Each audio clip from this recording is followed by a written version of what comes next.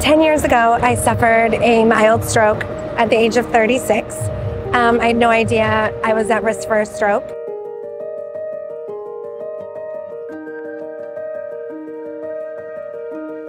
I'd never heard that word before, no, no, idea what it was. Many people have it and will never experience anything negative or never have a health event.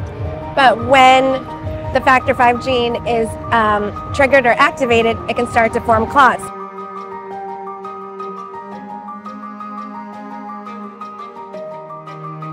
I was amazed when I found that. I'm like, these are not um, uncommon things. You know, people are pregnant, people have surgeries, people travel. And so I was really upset that there wasn't a better screening um, for factor V Leiden. And I found out 23andMe um, test for it, which is just amazing because um, you anyone can have access um, to that information now.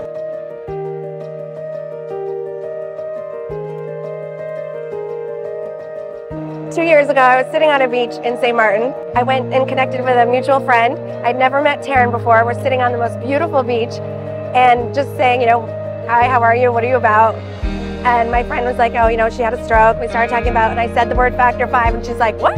I think I have factor five. And I'm like, why? She's like, well, I just did 23andMe, and right there from the beach, opened up launched her 23andMe app and was like, yeah, I have it. That's why I'm here yeah. just to share my story and just say, you know, 23andMe helped me even just know and having that knowledge to, for, uh, for me, it was like, okay, what are some things that could be at even higher risk, birth control being one of them.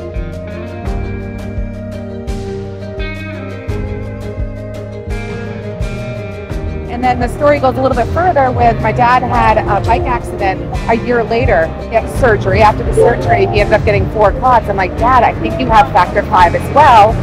Sure enough, he got a blood test done, the panel, and he came back positive. My mom's negative. So it was almost like we were supposed to be I know. in St. Martin and have this. It'd be like the factor V superpower twins.